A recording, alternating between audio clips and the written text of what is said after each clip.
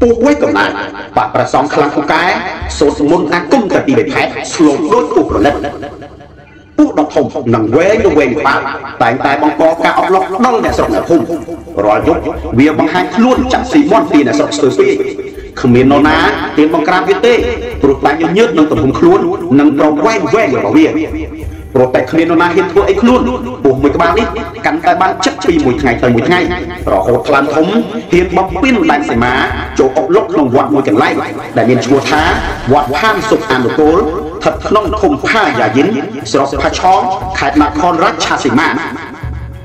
ដំណើរពីពុទ្ធក្បាលនេះយប់មួយកាលពីថ្ងៃទី26ខែវិច្ឆិកាវាបានបំពេញដែនសីមាចូលមកអប់លុកដល់ក្នុងវត្តវេលាអង្គ្រាតខណៈដែលព្រះសង្ឃកំពុងតែសឹងយ៉ាងស្កប់ស្កល់ស្រាប់តែឮសំឡេងមន់ស្រែកផ្អើលរត់ទៅវត្តបង្កជាសំឡេងរំខានព្រះសង្ឃពុំអាចសឹងបានឡើយដោយអ្នកទាំងអស់គ្នាដឹងហើយថាព្រះសង្ឃគ្រប់ព្រះអង្គចាប់បាច់ត្រូវការកើងតាំងពីវេលាទៀបភ្លឺដើម្បីសុធម៌និងស្វាធ្យាយបាលីផ្សេងផ្សេងដូច្នេះព្រះអង្គត្រូវការសឹងឲ្យបានគ្រប់គ្រាន់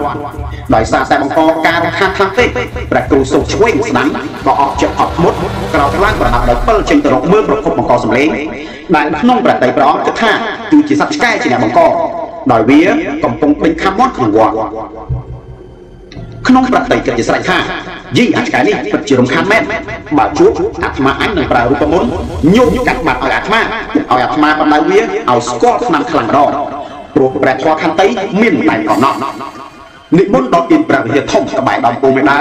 ស្រាប់តែលើសំឡេងចម្លែកនៅលើជញ្ជាំងឆតឆតឆតឆតសំឡេងអ្វីពីលើប្រកាសអាត្មាងាកបើទៅឆ្វាច់លោកអើយពួកស្អីធំហើយវែងអីក៏វែងយ៉ាងនេះប្រវាយស្ទើរតែពីដំណររបស់នោះ ព្រះគ្រូសូត្រស្ដាំឆ្វេងតាំងពីព្រះអង្គរួមនឹងកូននេនច្រើនអង្គផ្សេងទៀតនៅចាំការនាំគ្នាប្រើវិត្រាមួយពាន់អ្នកណារត់មិនទាន់អត់ដោយដាក់មេព្រុតរត់បាត់ជើងសោព្រាតរបូតស្បង់ជីវរក៏មិនខ្ចីលើក